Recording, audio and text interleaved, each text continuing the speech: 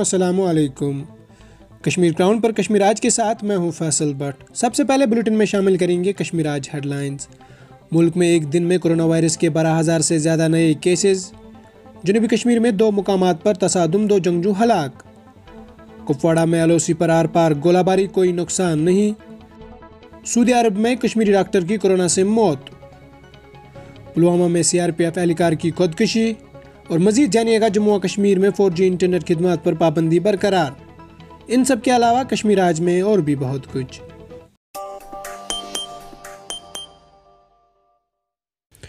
जनूबी कश्मीर के शोपियाँ ज़िले के इमाम साहब और पुलवामा के मिज इलाके में जंगजू और सिक्योरिटी फोर्सेज के माबेन तसदम जारी है। दोनों मकाम पर एक एक जंगजू हलाक होने की इतला है। मिज तसदम के हवाले से आर्मी की जानब से एक बयान जारी किया गया है, जिसमें बताया गया है कि मिज पुलवामा में जारी तसदम के दौरान जंगजू मुकामी मस्जिद में छुप गए हैं।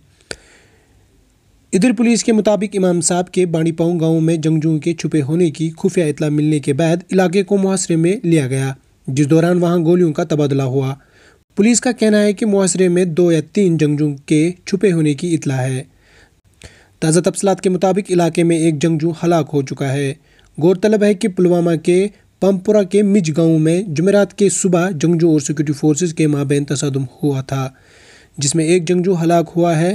सिक्योरिटी फोर्सेज का कहना है कि दो जंगजू एक मुकामी जमिया मस्जिद में छुपे हुए हैं, जिसकी वजह से ऑपरेशन ने तौल पकड़ लिया है। वजर रवा बरस सिक्योरिटी फोर्सेज ने मुख्तलिफ़ ऑपरेशन में पचानवे जंगजुओं को हलाक किया है, जिसमें छः आला कमांडर समेत रियाज नाइको भी शामिल है।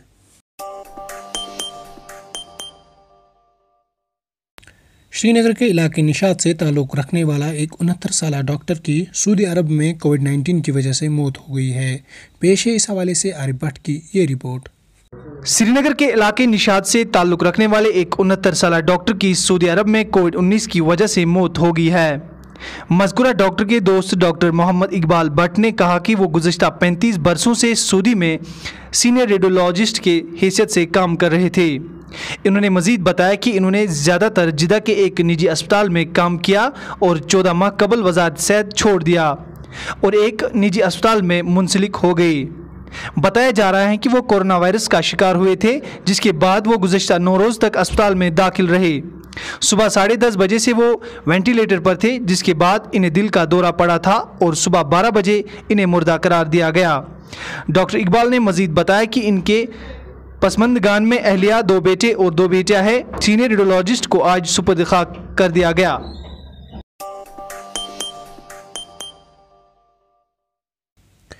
जनूबी कश्मीर में ज़िला पुलवामा के अवंतीपुरा में जुमेरात की सुबह सीआरपीएफ के एक एहलकार ने दौरान ड्यूटी खुदकुशी कर ली। सरकारी जराये ने बताया कि अवंतीपुरा में कनवई गश्त ड्यूटी पर मामूर सीआरपीएफ का एक एहलकार ने खुदकुशी कर ली। मजकूरा एहलकार की शिनाख्त असिस्टेंट सब इंस्पेक्टर मोतीराम के बतौर की गई है, जो सीआरपीएफ की एक सौ अठहत्तर बटालियन से वाबस्ता था।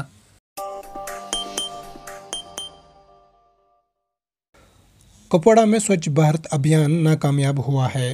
इस हवाले से पेश है इरफान मलिक की ये रिपोर्ट। कुपवाड़ा में स्वच्छ भारत अभियान जमीनी सतह पर नाकामयाब दिखाई दे रहा है। बेशतर इलाकों के गली कोचों में कूड़े के ढेर जमा हुए हैं, जिससे गर्मी के बढ़ते ही बीमारियाँ फैलने का खतरा बढ़ सकता है। कई इलाकों से मिली जानकारी के मुताबिक, कुछ खुद गर्ज लोग घर से निकलने वाला कूड़ा सड़कों पर, सड़कों और नदी नालों पर फेंक फेंक कर उनको गंदा कर रहे हैं। इस हवाले से कुपवाड़ा के बेशतर अवाम ने जिला इंतजामिया से मदद की, मुदाखलत की अपील की है। Irfan Malik Kashmir Crown Kupwara deputy commissioner Ganderbal ने आज ज़िले के कई इलाकों का दौरा किया। पेश है इस हवाले से सबक अली सबक की ये report. Deputy commissioner Ganderbal Shafqat Iqbal ने आज जिला के कई इलाकों का दौरा किया और लोगों को हिदायत दी कि वो सोशल डिस्टेंस बरकरार रखें और मास्क का हर वक्त इस्तेमाल करें। इन्होंने दुकानदारों से कहा है कि खरीदारी करते वक्त अपने दुकानों पर भीड़ जमा न होने दें। आपको बताते चले कि गांधरबल के बीसतर इलाकों में लोग बिना मास्क के घूम रहे हैं और सोशल डिस्टेंस का ख्याल नहीं रखते हैं। डिप्टी कमिश्नर ने मजीद कहा है कि ऐसे लोगों के खिलाफ सख्त कार्रवाई अमल में लाई जाएगी जो सरकार की दी हुई हिदायत पर अमल न करते हों। कश्मीर क्राउन के लिए मैं गांधरबल से साबिक अली साबिक।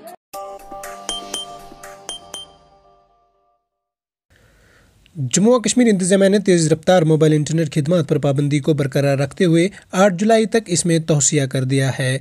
जम्मू और कश्मीर इंतजामिया के होम डिपार्टमेंट की जानब से एक हुक्मनामा जारी किया गया है, जिसमें यह वाजह किया गया है कि जम्मू और कश्मीर में फ़िलहाल टू इंटरनेट खदमात को ऐसे ही जारी रखा जाएगा और आठ जुलाई तक फोर इंटरनेट खदमात पर आयद पाबंदी बरकरार रखने का फैसला किया गया है।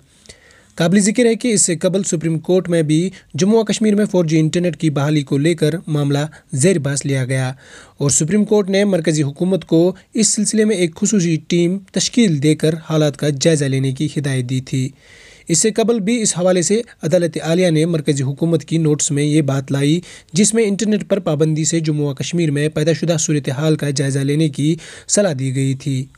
ताहम मुल्क की सलामती और कौमी सलामती का हवाला देकर फोर जी इंटरनेट पर पाबंदी में मुसलसल तोसिया किया गया है। ज़िला राजौरी के महकमा रूरल डेवलपमेंट ने तीन नेशनल अवार्ड हासिल किए हैं, जिस पर ज़िला तरक्याती कमिश्नर ने मुबारकबाद दी और महकमे के काम की सराहना भी की।